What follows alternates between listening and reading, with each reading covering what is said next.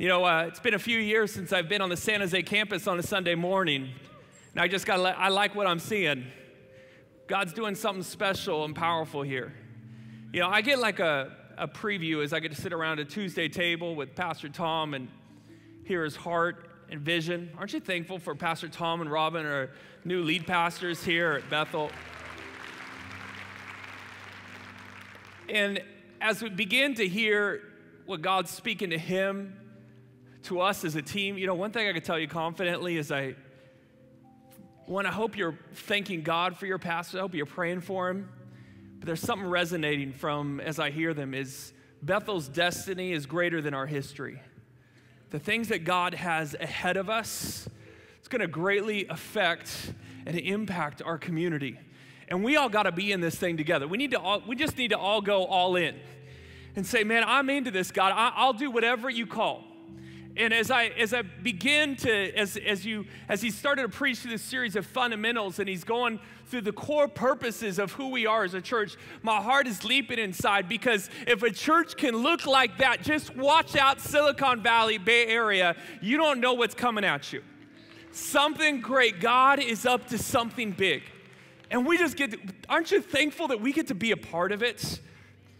And, and uh, you know, it's interesting. I was listening, I was watching a Warriors game. Any Warriors fans out there? Warriors fans? Okay, there's a little more in the first crowd, so we need to step it up. You need to learn what winning is like and watch a Warriors game for any of you Lakers fans out there.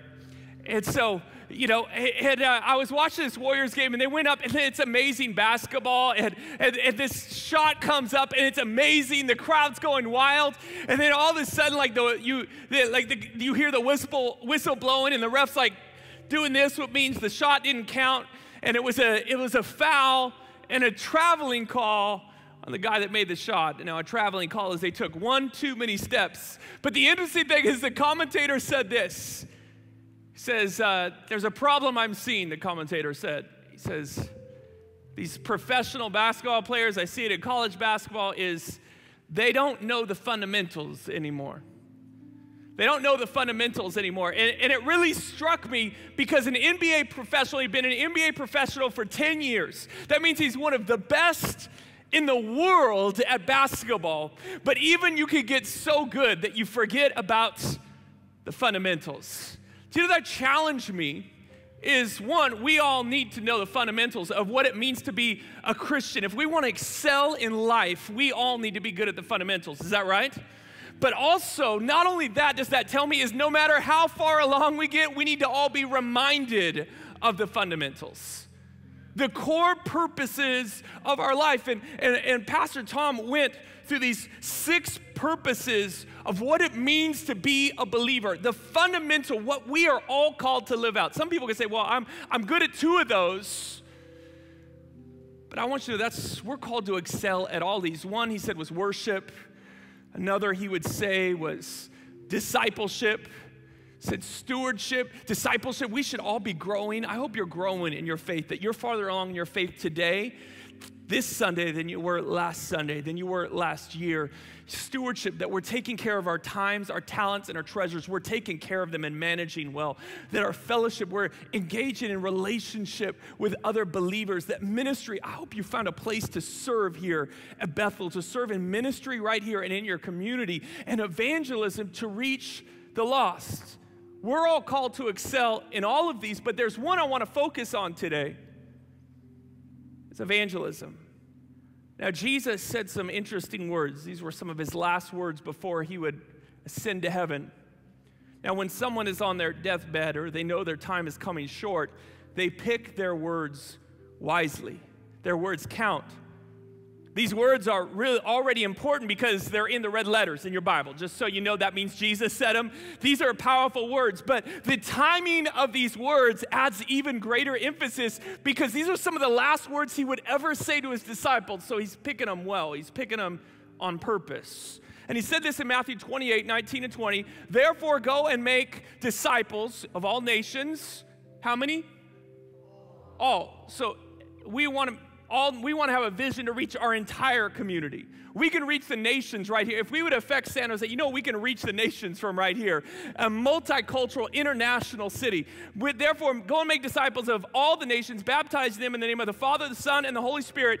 Teach these new disciples. We should have, be seeing new people coming and getting saved, discipled, growing. That should be part of the rhythm of our week. New disciples to obey all the commands I've given you. Now, we as a church, as a corporate church in America, we can fall into a, a mistake that we can start to think that this Great Commission was a corporate mission of the church, and that if the church is seeing big numbers get saved, that we're doing okay. But do you know that this isn't just a corporate mission, but our personal mission? That each of us here today in Bethel, that each of us, this is our mission to go make disciples. You should be making disciples in your life. Now, what does it mean if you're, if you're making disciples? Well, discipleship involves four things that you're going to help people excel in. The first is to know Jesus. How many here have experienced forgiveness of Jesus? Mercy, anybody experienced mercy? Healing, provision. Isn't Jesus too good to keep for ourselves? We got to pass him along. We got to help people know Jesus. The second is part of the discipleship process is for people to find freedom and healing. And they're like, we, we want them to find the freedom that only Jesus could bring. The, the third one is to discover their purpose. Why are they on this planet? Each of you have a unique purpose. Each person on this planet, God put here for a specific purpose. And we want to help people find that purpose out, to live it out. And the fourth is to make a difference. These are the four stages of discipleship. Now, if you look at these four, Know Jesus, find freedom, discover purpose, make a difference. The last three can't happen without the first one. Jesus makes the last three possible. We have got to help people know Jesus. Evangelism is the first part of that process to help people know Jesus. Now, we all love the sound.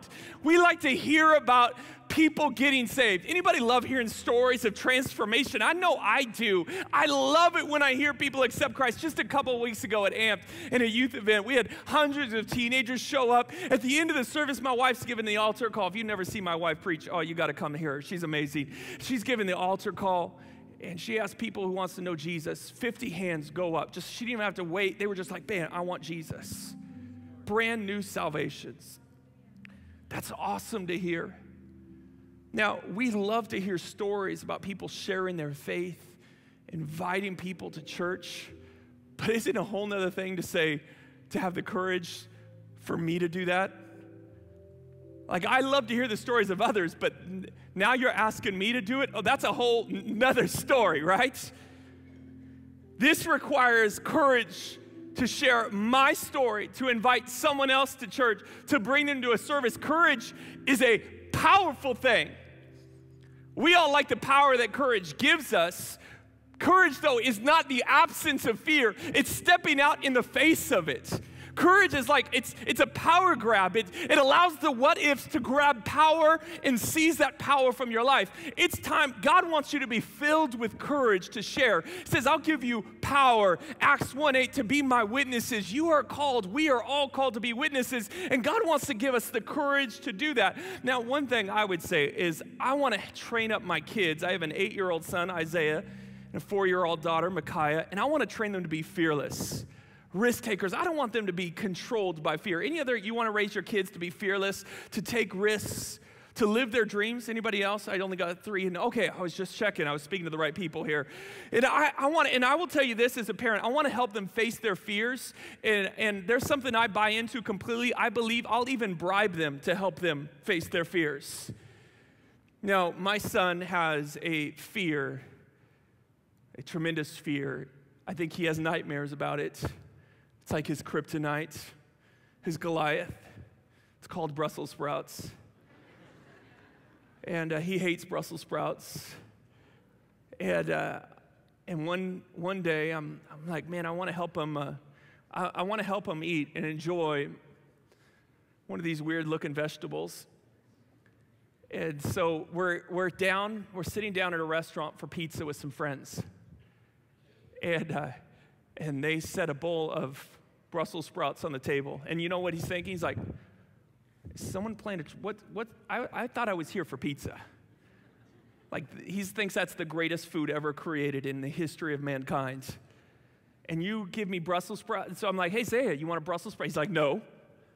I'm like, sure? It's gonna be really good, no? I'm like, here, here's what I'll do is I pull out my wallet, I set a dollar on the, on the table, one dollar for one Brussels sprout. He's like, no.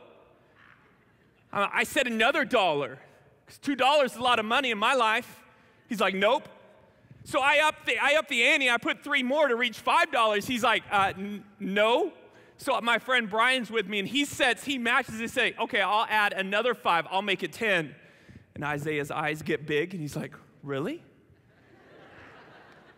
It's amazing, a matter of perspective, what he saw, the worth of, five, of $10 in his pocket was a lot more value than a bad taste in his mouth. I remember one of his greatest fears Brussels sprouts was bad, but this one takes it to a whole other level. My son's fear of haircuts. Oh man, it was like the once a month nightmare in my life in our house. Now, my son is getting big. He's eight years old, and I went to, we went to youth camp, winter camp recently, and he was taller than almost all the junior highers. Eight years old. So, what we used to have to do, literally, I would grab, I would hold his arms and wrap my legs around his legs to hold him still so Lynn could cut his hair. It was the worst. He would cry, he would scream, he would try to injure me, he would do whatever it took to get out of a haircut. No threat, nothing would ever solve the problem. So one day we're sitting at the table and we're like, this shall end. We're done with this. Somebody else has to give a haircut. So we decide, I'm like, $5 for a haircut, Isaiah. I'll give you $5 to go get a haircut. He's like, nope. $10, nope. $20, nuh uh. I'm like, man, what is this gonna take? So my wife decides to up the ante. She's like, I'll give you, I'll buy you a pair of Curry 2.5s. That's a pair of really nice shoes for some of you that don't know. And he's like, Really? And she didn't ask me about this. I was like, Really?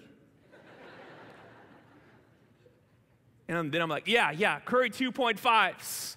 And he's like, Okay, I'll do it. I like got out my phone. I'm calling, like, please make an appointment right now. Let's do this right now. It's amazing what perspective will do. It's a powerful thing. Your perspective can change everything. The, the worth of 10 bills in his pocket was more valuable than a bad taste in his mouth. The value of a pair of shoes he saw as more valuable than scissors touching his golden locks.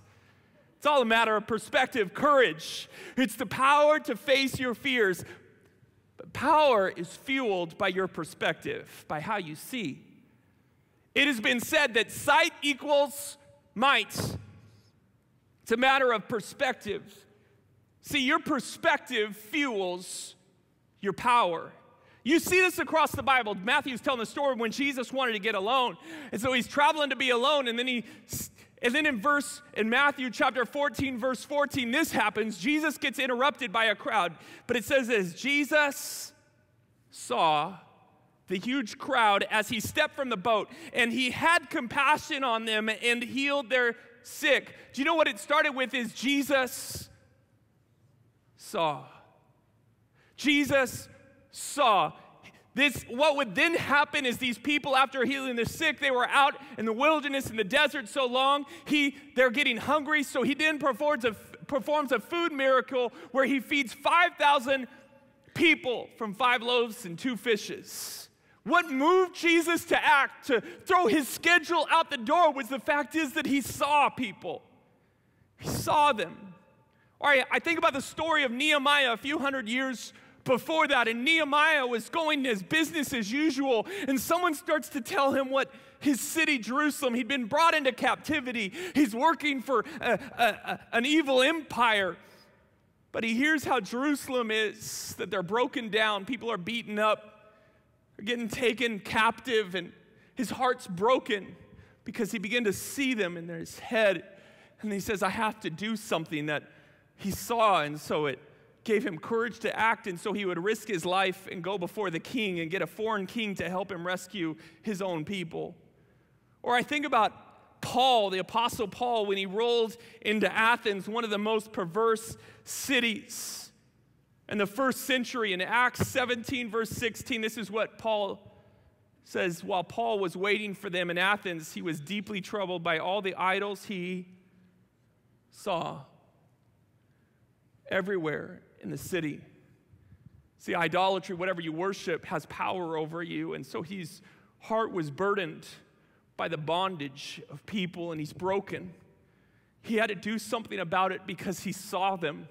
So he had the courage to speak out and share the gospel. Perspective fuels your power. Sight equals might. See, when you see, you'll act. It's time that we open our eyes. But the question we have to ask ourselves is what frames your perspective? What determines what we see? People can grow up in the same city, the same neighborhood, the same family, but they could see two different things. They, the difference is, is their perspective. The truth is, is that your perspective must be framed by your purpose. Let me say it this way what you live for should frame what you look at.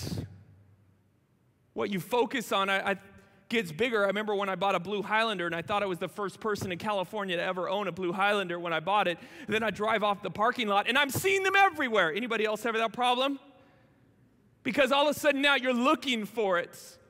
It's interesting how your perspective changes. I was driving by Blue Highlanders all the time, but now I was looking for them, and so I saw them. Whatever you focus on gets bigger. It's time that we would pre-decide our, our focus to predetermine your frame. What are you focusing on in your life? What are you looking at? If my power is fueled by my perspective, then I need to decide what I'm going to be looking at. Our purpose must frame our perspective. Or you could say it this way your purpose frames your perspective, which fuels your power. Do you want the courage to witness? I know I do. The power to witness? Pray that God would help change your perspective, what you're looking at. And one of our fundamental purposes for living, each of us, is to go make disciples, to help people know Jesus. We are all called to live that out. So, this must frame our perspective that everything we look at is through the lens of evangelism, where I'm going, who I'm talking to, what I'm doing, who I'm spending time with, what I'm talking to them about. It must come through the lens of evangelism. How is today, how is what I'm doing, how is where I'm going help people know Jesus? because sight equals might. Your strength, your courage comes from what you see. And when you see people through the lens of evangelism, when you start deciding who's in your frame, what happens is you start thinking about people's eternity. You know what I'm talking about? Thinking about heaven and hell. And pausing to think a moment is like, how is their soul doing? Where are they spending eternity? Where's my coworkers spending eternity? Where's my kids? Where's, where's my parents? Where's my neighbors? And you start looking through this lens. Because the truth is, if we love people, won't we care about their eternity? It got really quiet in here. If we really love them, aren't we going to care about where they're going to spend forever? Because the truth is, the fuel for courage is a love for people. If you'll love them, you'll speak to them. See, we don't have a courage problem in the church, we have a love problem. If we would really love people, we won't have any problem telling them about Jesus. See, it's time to get some love that would consume our hearts with people, that would break us. Do we really see the lost? Do we see people? Jesus saw the crowd and it caused him to act in compassion. Because we, let's be honest, we can walk past them in the coffee joy. We, we, we can work with them every day. We can wave at them on the streets, but do we really see them? We must decide that our purpose will frame our perspective, that my reason for living, what I live for, will determine what I look at. You would be surprised at what you could do if you would focus. See, you need to control your frame because you can't control what's happening around you, but you can control your frame, what you focus on. Now, I, I remember getting ready for a video shoot one day, and I'm standing in front of the camera, and the camera guy says this, says, hold on, I need to frame the shot. And in that moment, what he was doing is he was deciding what needs to be in the frame and what shouldn't be. He's deciding what needs to be focused on and what needs to be blurry. The camera people, aren't you thankful for our camera people each Sunday showing up early to make sure that you could get a better perspective? That I just talked to somebody that right now is on a business trip in Texas this weekend. He's, he says, I'm going to log in on YouTube. I'm going to watch the sermon. I'm thankful that they're making it possible that people are ministered to around the world. But these camera people, they decide each time they grab a hold of that camera what needs to be in the shots. And now I want, I want to illustrate this for you to help you understand what's in your frame. So I want you to zoom in as close to me as you can. Now, I'm sure that all of you are thankful that they never zoom in this close to me normally. So you don't see that definition in my face. That is not a good thing. We want people to want to come to church.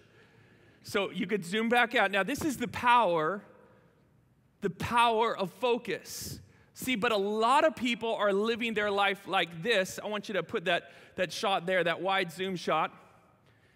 A lot of people are, are, can you turn the house lights up so they can all see their beautiful faces? A lot of people are living their life like this is, everybody turn to that, can't wait, why don't you wave at them? Wait, wave at the camera right over, there's a camera, some of you like never knew there was a camera over there. There is a camera over there. Look at, see, you're all waving at the camera. Do you know that a lot of people are living their life like this? The problem with living your life in wide zoom focus is you're allowing whoever to come into your shot and to do whatever they want. And it's determining the future of your life. Your boss can come in and say a negative word to you, and it ruins your week, your life. You can have a problem in your finances, your life is, you feel like your life is over. You're allowing other people to determine your perspective. See, but what we need, I'm gonna use Pastor Ryan. Pastor Ryan, why don't you come in and help me? So this is Pastor Ryan helps lead our starting point, connect all the new people in our church. I really appreciate everything he does. If you have a new friend or family, he's going to help take care of them. Now, Don't you appreciate that? To help them find a place to belong here. So this is Pastor Ryan. Now the illustration I want to do is you can see both of us. Pastor Ryan, thank you. You just elevated the quality of our shot when you stepped in. Thank you so much. And so now the the uh, the this is how people are like who life is determining what's going to come in and out of your life. But I want you to decide to pre decide your focus. Now, just watch this. See, instead, what I want is I want you to camera focus on me to pre decide your frame. And to say, I don't care what life throws at me, I don't care what hardship, what people come, try to come into my life, I'm predetermining my focus and what I'm gonna look on. I'm deciding that my purpose is to seek and save the lost, to help make disciples. So it doesn't matter how, how, what hardships the devil throws at me, what life throws at me, what my family says about me, what my friends say. It doesn't matter because I know my purpose, and my purpose is to make disciples. So when I wake up in the morning, i I've decided what's in my frame. I've decided what I'm going to keep my focus on. Thank you, Pastor Ryan.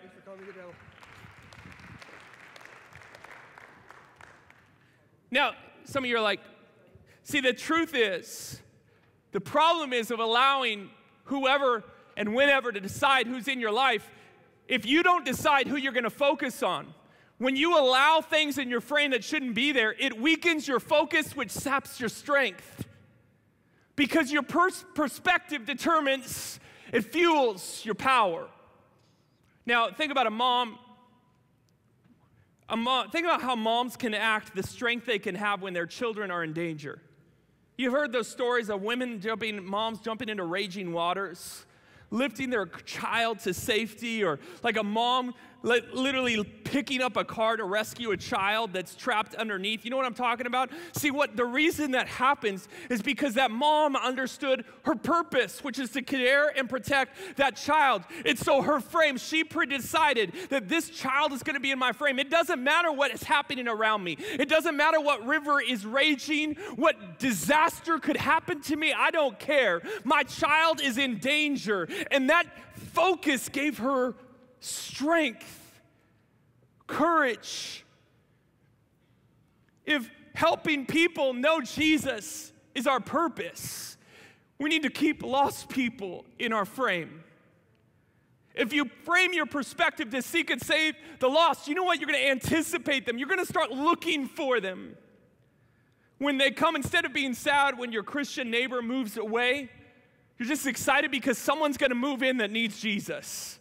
When you get moved, your company moves you to another floor, another business somewhere. Instead of getting bitter, you look at it as a new opportunity to, for your faith to be shared. You want to start a life group that could reach your new floor for Jesus. What would your week be like if you framed it up before you entered it? Your frame determines what you anticipate, what you look for, and what motivates you, what gets you going.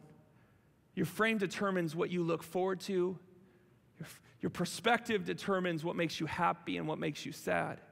Because your purpose frames your perspective, which fuels your power. Think about what Hebrews says this. It says, Who for the joy, Hebrews 12, 2, who for the joy set before him endured the cross. He's talking about Jesus. Do you know what? He decided, says, I'm not going to look at the cross, the suffering, the beatings, the betrayal, the accusations. You know what I'm going to look at? I'm going to look at you. The joy set before him was you in heaven with him. And that because you were in his frame, he was to able to endure the worst suffering imaginable. What if we decided that people would be in our frame? The people that need to know Jesus were in our frame. Now, Philip is a, is a man in the New Testament in Acts that gives us a great example of someone that lives this out. And Acts 8 tells the story. And we're going to jump down this chapter here because I want you to illustrate what we just learned about perspective and and purpose. You'll actually see this lived out in Acts chapter 8, verse 1. A great wave of persecution began that day, sweeping over the church in Jerusalem, and all the believers, except the apostles, were scattered through the regions of Judea and Samaria. So persecution is unleashed on the church.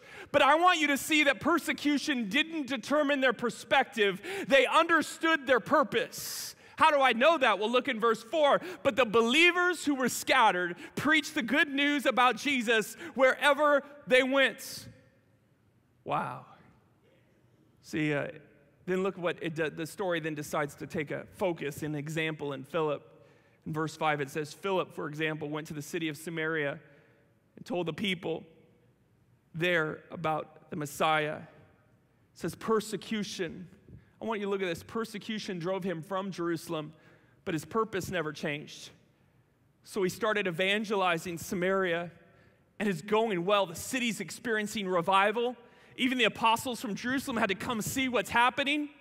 But the great thing about it is the story doesn't stop there. Philip goes on to do more ministry because I want you to see something that success didn't cause him to settle. Success doesn't have to cause you to settle. 2016 may have been a good year for you.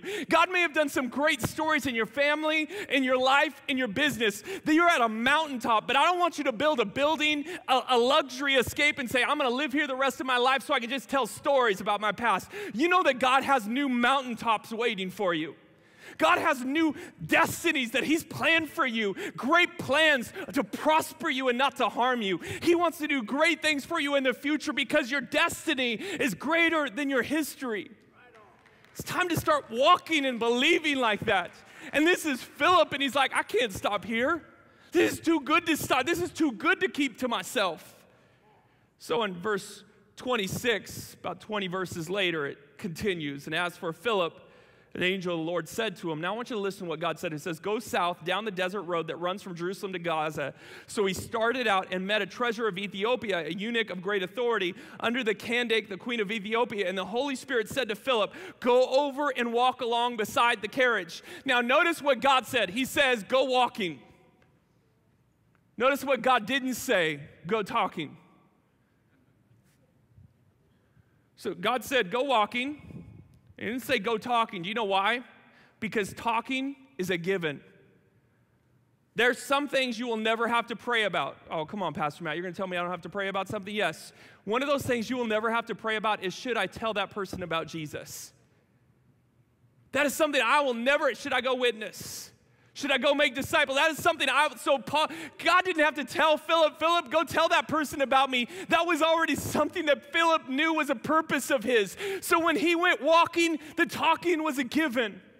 Now look at about this story that's amazing is look at who Philip would minister to this Ethiopian eunuch. It's a person of a different race, a different culture, a different class.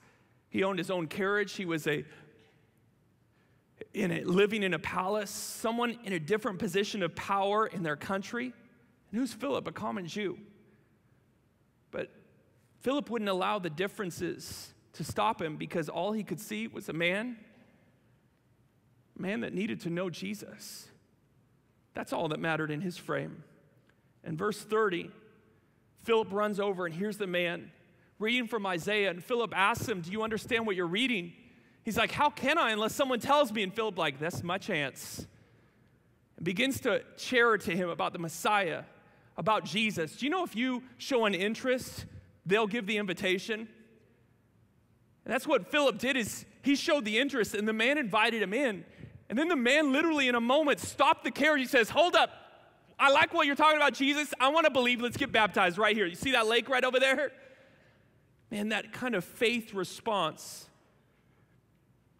it's time to reframe our perspective to decide what's in our frame.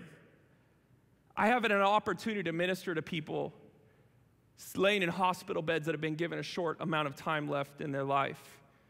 And I've seen something happen in each of these moments. They make a decision to live differently. Have you ever seen some people that are about to die actually start living? Do you know why? Is their frame changed? What they decided to focus on changed. They decided on purpose what would be the focus of their life. Don't let it take a tragedy for you to fix your frame. Don't, don't let it take a funeral for you to value your friends. Become a framer in everyday life because your purpose frames your perspective, which fuels your power. I want to call, talk about something that's called the Deborah effect. Not Deborah from the Bible, but her name is Deborah Graham, and she's on Santa Clara campus right now. I'm really proud of Deborah because she's lived this principle out. And Deborah every day would walk in from her car and walk down a path and pass some doorways on in. And one of those doorways held a girl named Cassie, and Cassie didn't know Jesus, was without hope and a future in her life. But Deborah saw and invited her to church administered to her. Cassie accepted Jesus. Not only that, she sensed a call to God in her life, and right now, today, as we speak, she's leading worship on the Santa Clara campus. Cassie is today. And then Cassie would see this and invite a friend of hers named Evelyn. Evelyn now is in the school of leadership. She ex- now would accept the Lord, get in the school of leadership, is called to be a minister. It's going to be a missionary, and travel the world. And Evelyn would then minister to her sister Cindy, who would minister to two girls, Perez girls. And literally now we can trace 25, 20 to 25 names back to Deborah Graham. That's the power of perspective what's in your frame. You know, I want to thank a, a young girl in high school. Her name was Gabriella. And Gabrielle went to class and sat by another girl every day. And I want to thank Gabrielle because I would not have the family I have today if not for Gabrielle. I wouldn't have my two kids, beautiful kids. I probably wouldn't even be here in Bethel if not for Gabrielle because Gabrielle noticed a girl sitting next to her that didn't know Jesus. She focused on her frame. And she saw a girl next to her, and her name was Lynn, and invited Lynn to come to a drama that would share about heaven and hell so she could learn about Jesus. And they invited, Gabrielle invited Lynn to come to the drama with her. And they got the drama two hours earlier because the seats were packed. There wouldn't be no seats left. So they got there early to make sure Lynn could have a seat. I'm thankful for Gabrielle because my wife, Lynn, got saved that night, walked down to an altar because Gabrielle decided who was in her frame. What if we could fix our frame like that? What if we could decide in the morning who would be in our focus? We need to frame our focus to decide what's going to be in our frame because people matter. Why don't you stand to your seats with me?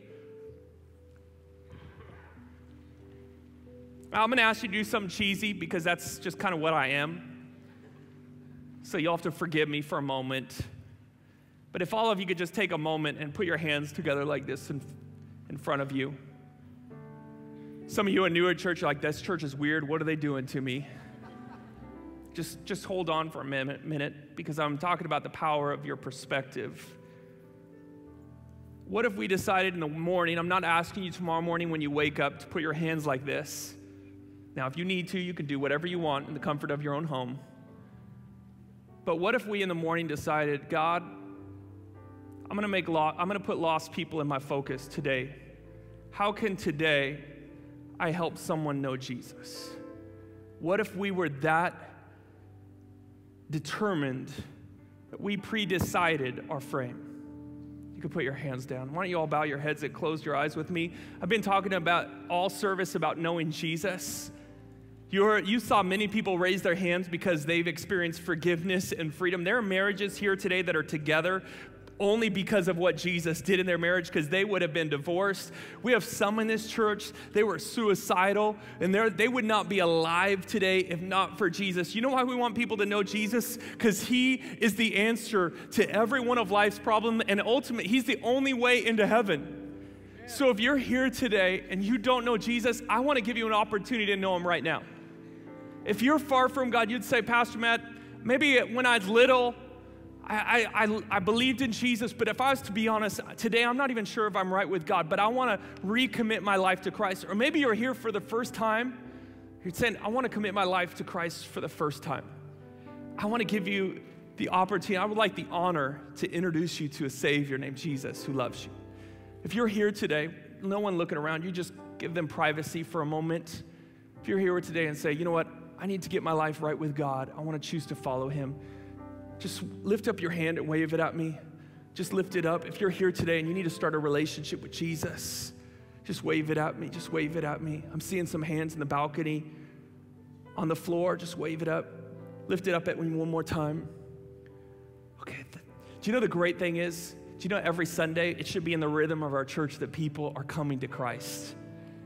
And you know what's going to make that happen if we decide to frame our focus.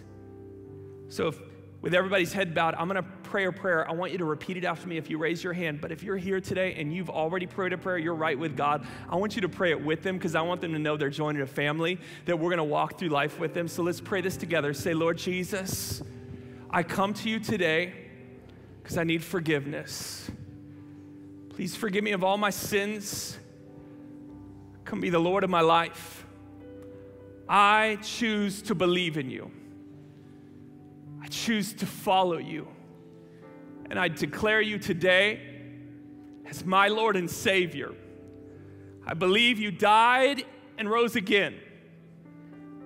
And I will live for you for the rest of my life. In Jesus' name.